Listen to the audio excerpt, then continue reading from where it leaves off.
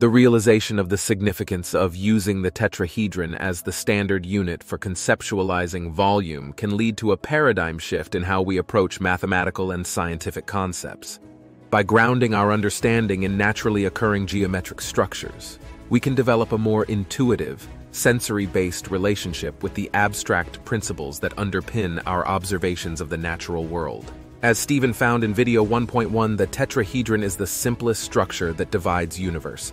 It is the first structure that creates inside volume.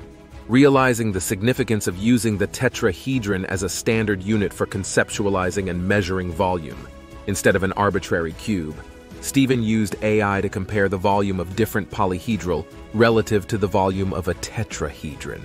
As calculated in the following table, the volume of a tetrahedron relative to a pyramid is 2, a cube is 3, an octahedron is 4, a rhombic dodecahedron is 6, and vector equilibrium is 20. Scientific entry into the present realm of quantum competence was accomplished with the awkward, irrational tools of the the centimeter gram temperature second and the XYZ 90 degree coordinate system. But the awkwardness had to be corrected by Planck's constant to produce reliable, usable information. The tetrahedron is the simplest polyhedron, consisting of only four triangular faces, compared to the cube, which has six square faces.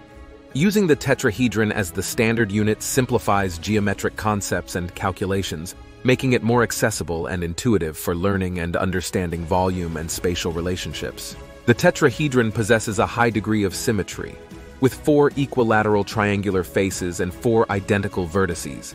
This inherent symmetry can be advantageous when studying natural phenomena that exhibit similar symmetrical properties, as it provides a more natural and harmonious basis for comparison and analysis. Tetrahedral structures are prevalent in nature, appearing in molecular chemistry, crystallography, and the arrangement of atoms in certain compounds. By using the tetrahedron as a standard unit, we can better align our conceptual framework with these fundamental structures, leading to deeper insights into the natural world. In environmental and architectural design, the tetrahedron's simplicity and natural occurrence can inspire innovative approaches to sustainable and efficient structural design.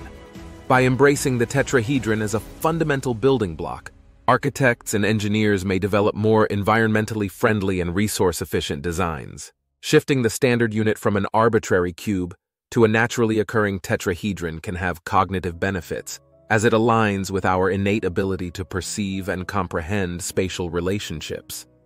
This shift may enhance our intuitive understanding of volume and geometric concepts, fostering a more organic connection between our sensory experiences and mathematical abstractions. Embracing the tetrahedron as a standard unit has the potential to foster interdisciplinary connections between fields such as mathematics, art, biology, and physics.